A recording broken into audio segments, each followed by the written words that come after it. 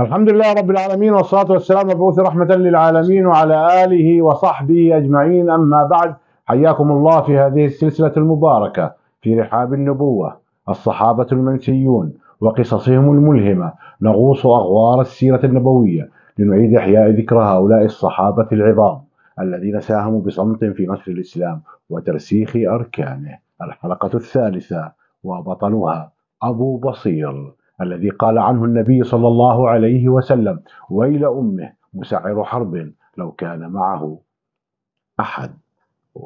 أي أن هذا الرجل سيشعر حربا لو كان معه من الرجال. وقد كان عتبة ابن أسيد المشهور بكنيته أبو بصير بعد صلح الحديبية بقليل. هاجر أبو بصير إلى المدينة خفية بعد أن تعذبته مكة عذابا شديدا. وقد كان من إحدى شروط صلح الحديبية أنه من جاء مؤمنا من مهاجرا إلى المدينة من غير إذن وليه. رده النبي صلى الله عليه وسلم إلى أهل مكة ومن جاء من المدينة إلى مكة مهاجرا لا يرده أهل مكة إلى النبي صلى الله عليه وسلم. فلما علم أهل مكة أن أبا بصير قد خرج مهاجرا في الليل كتبوا كتابا للنبي وأعطوه لرجلين وانطلقوا خلف أبو بصير.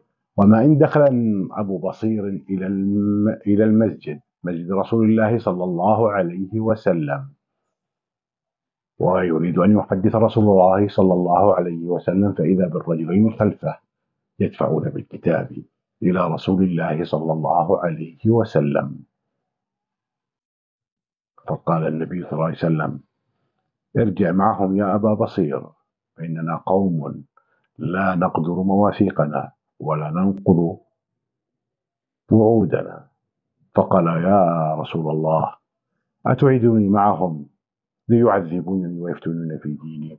فقال له يا أبا بصير اذهب معهم وسيجعل الله لك مخرجا أنت وكل المستضعفين في مكة.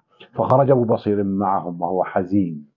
فما إن ابتعدوا عن المدينة بقليل حتى جلس الرجلين ليستريحا من تعب السفر وجلس معهم أبو بصير. وهنا لمعت خطة في عقل أبو بصير. فبدأ يمدح أحد هذين الرجلين. ويقول له يبدو أنك فارس مغوار وهذا الدليل أن سيفك لامع بتار. والله إنه سيف لم أرى مثله من قبل.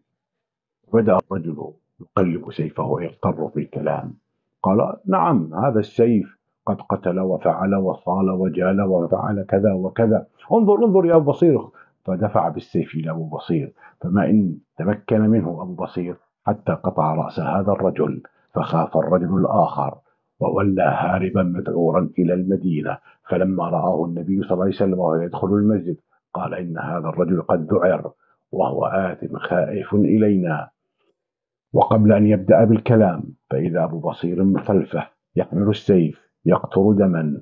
فقال له فقال أبو بصير يا رسول الله صلى الله عليه وسلم قد أوفى الله ذمتك قد رددتني إليهم ثم أنجاني الله منهم. فقال صلى الله عليه وسلم ويل أمه متعب حرب لو كان له أحد فعلم أبو بصير أن رسول الله صلى الله عليه وسلم سيرده مرة أخرى إلى مك... إلى أهل مكة فخرج إلى منطقة اسمها العيص وعسكر فيها. وهذه المنطقة هي طريق أهل مكة وقوافل أهل مكة إلى الشام فجلس فيها وبدأ يغير على القوافل. يأخذ ما يستطيع أن يأخذه ويقتل ما يستطيع أن يقتله فسمع به. المسلمون المستضعفون في مكة فبدأ يخرجون الواحدة تلو الآخر إليه وشكلوا مجموعة من سبعين رجلا يقطعون طريق القوافل على مكة ويقتلون ما يقتلون ويأخذون ما يستطيعون أن يأخذه فضاقت قريش بهم ذعرا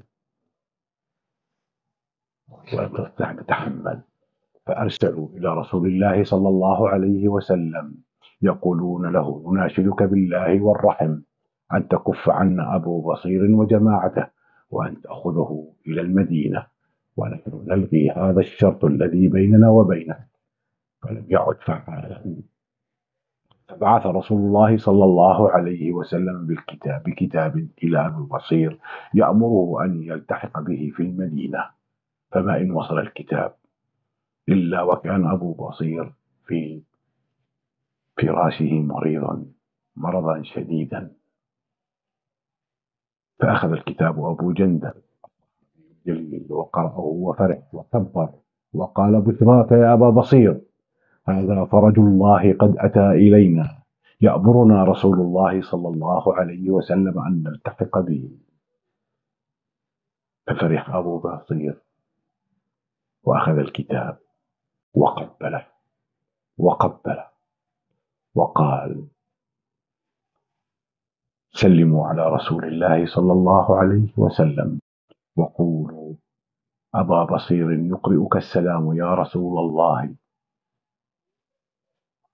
ومات أبو بصير رحم الله متعر الحرب أبا بصير فقد عاش معذبا في سبيل الله ومات مشردا في سبيل الله.